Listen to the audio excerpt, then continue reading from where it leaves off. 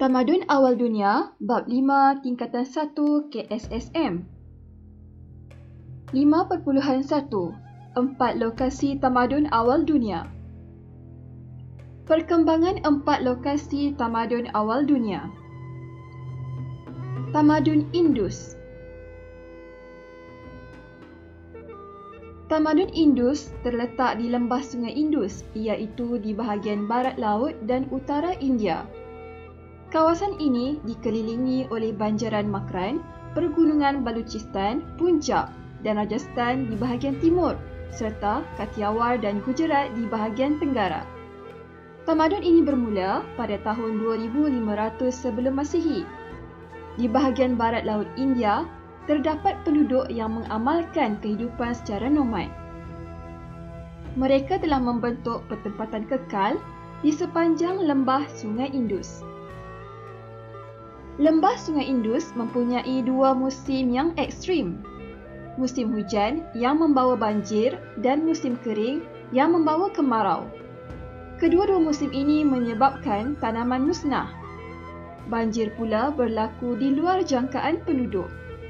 Sungai kadangkala berubah arah aliran. Pusingan musim kering dan hujan pula tidak menentu. Cuaca kering dan keadaan kemarau ini menyebabkan kemusnahan tanaman. Hujan lebat yang berterusan menyebabkan berlakunya banjir yang memusnahkan kawasan pertempatan. Penduduk lembah sungai Indus bergiat aktif dalam pertanian. Mereka menanam pokok gandum, barli dan kapas. Dalam masa yang sama, wujud kegiatan lain seperti pembuatan barangan daripada kapas dan besi hubungan perdagangan berlaku antara penduduk lembah sungai Indus dengan penduduk di bahagian selatan Mesopotamia. Kawasan ini kemudiannya berkembang menjadi bandar. Terdapat dua buah bandar terancang terkenal yang dibina dalam tamadun ini, iaitu Mohenjo-Daro dan Bandar Harappa. Pada masa ini, Jurutera telah mencipta sistem paip dan pembentungan yang canggih. Menjelang tahun 1750 sebelum Masihi, tamadun Indus mula mengalami kemerosotan. Ahli sejarah berusaha mencari sebab kemerosotan tamadun ini. Pada tahun 1970-an, ahli sejarah menemukan punca kemerosotan ini Imej satelit menunjukkan terdapat pergerakan plat bumi yang menyebabkan berlakunya gempa bumi dan banjir. Selain itu, serangan orang Aryan mempercepat keruntuhan kerajaan tamadun Indus. Tamadun Huang He Tamadun Huang He terbina di kedudukan dua sungai utama yang mengalir dari kawasan pergunungan di sebelah barat ke lautan Pasifik. Sungai Huanghe atau dikenali juga sebagai Sungai Kuning terletak di kawasan utara negara China, manakala Sungai Yangtze di bahagian tengah China mengalir ke timur hingga ke Laut Kuning. Huanghe bermaksud Sungai Kuning yang menyimpan banyak lumpur kekuningan yang subur. Seperti tamadun awal yang lain, sungai menjadi nadi utama dalam pembentukan tamadun Huanghe. Masyarakat awal Cina telah membina pertempatan dan menjalankan aktiviti pertanian dan penternakan binatang selain mengumpul hasil hutan dan berburu di sepanjang sungai Huanghe.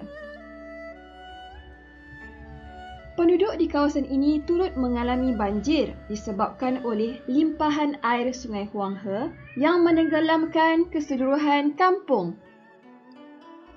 Hal ini ditambah pula dengan kedudukan geografi tamadun ini yang terpencil menyebabkan penduduk awal tamadun ini hanya dapat menghasilkan makanan sendiri dan tidak berdagang dengan orang luar.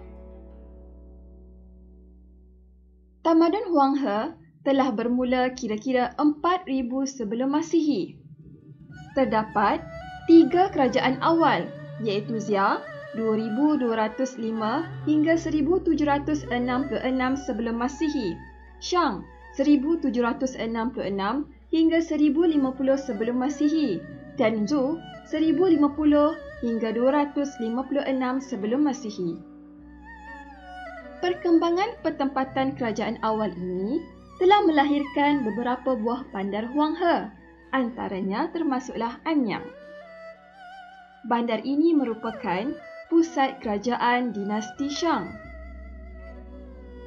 Semasa dinasti Zhou, tamadun ini tersebar hingga ke bahagian selatan Sungai Yangtze. Antara aktiviti utama tamadun ini selain pertanian termasuklah membuat tembikar, membina kapal, menghasilkan varnis, sutera, sulaman dan ukiran. Kemajuan aktiviti pertanian dalam tamadun ini telah membawa kepada penghasilan ciptaan daripada kayu dan logam yang digunakan sebagai peralatan pertanian. Sekian saja. Jangan lupa like, share juga subscribe. Terima kasih.